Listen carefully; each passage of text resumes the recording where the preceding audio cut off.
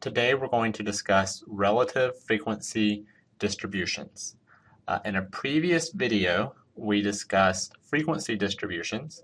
We discussed uh, taking a set of data and packaging it in a frequency distribution so that it would be easier to read, easier to interpret. Uh, today we're going to discuss relative frequency distributions. Uh, so a relative frequency distribution tells you where a value or where a, a class stands relative to the rest of the data. Uh, so, for example, uh, my daughter recently had some blood work done. Uh, the doctor told me her white blood cell count, and my first thought, my first question was, okay, well, how does that stand relative to everyone else that gets their blood tested. Is this a high blood cell count? Is this a low blood cell count? Is this an average uh, white blood cell count? Uh, where does it stand relative to everyone else? Uh, so, you know, the number by itself didn't really tell me very much. So similarly here, if I tell you that there are six values between 13 and 15 in this data set, uh, you would probably wonder, well, is 6 a lot? Is that a, large class? Is, is 6 few? Is that just a, a, a, few people? You know, if you're looking at a data set of 8 and uh, 6 members are in the class, in a class, then that's a, that's a very high percentage.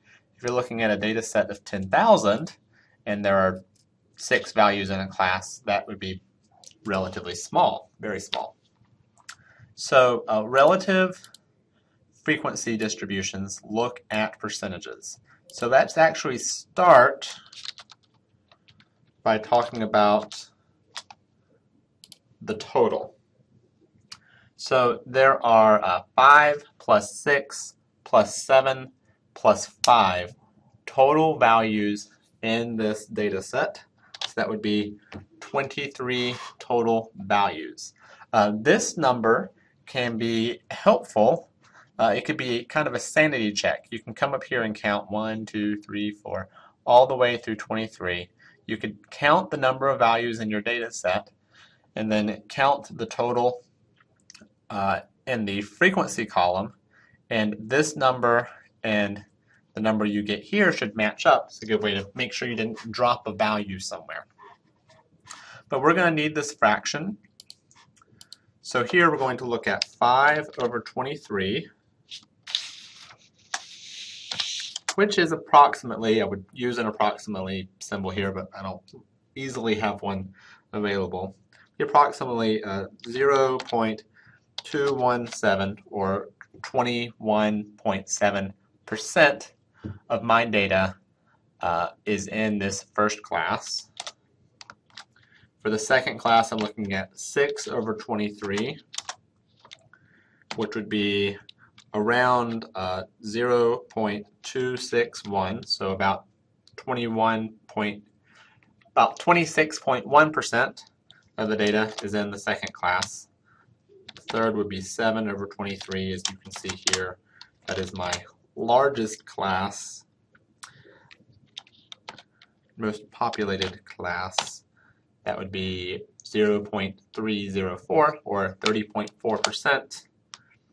And then we would have 5 over 23, which would be 0.217 again.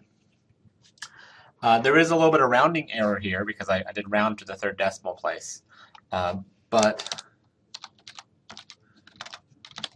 you can once again add up your relative frequency here, here, here, and here, and it should come up to 1 for 100%. And that's a good sanity check that you haven't uh, perhaps entered something wrong into your calculator. So this is a relative frequency distribution.